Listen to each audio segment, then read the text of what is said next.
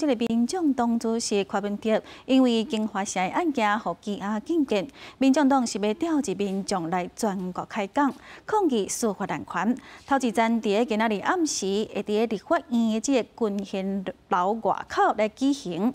吴国昌就批评讲，这新政府的这党检一体来加做新的维权体制，要是严重来打击着人民对司法的信任。立法院边的济南路早起九点三十分进行交通管制，一旦看到舞台等地搭建进行准备工作，民众党主席郭文铁陷入警花声案，互人裁定羁押禁见。民众党发起全国开讲，抗议司法滥权。第一站到选伫下暗，早起举行行政记者会，每一个人头壳拢白青色的时段。在赖清德所领导的党检一体。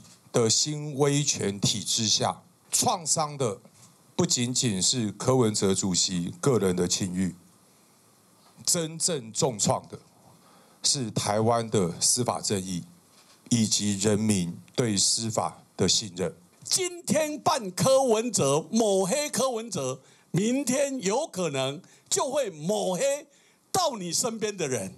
我们的怒火，我们的集结，我们。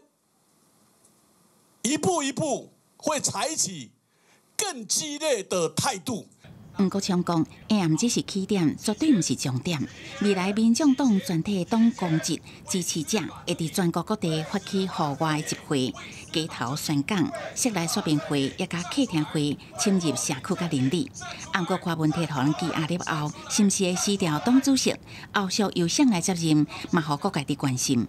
即马个传出郭文铁捌讲，你做家己又搁入去，会互党内一个交代。这个讯息从哪里来？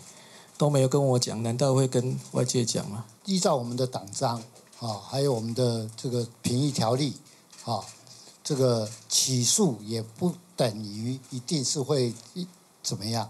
已经成立了调查小组，在这个部分下，我们会依照我们的进度和既有的制度来做评议。若是互人问到 AM 的活动，敢会邀请国民党参加？吴国昌敢若表示，会有真侪各界好朋友参加，身份毋限伫民众党党公职。记者综合报道。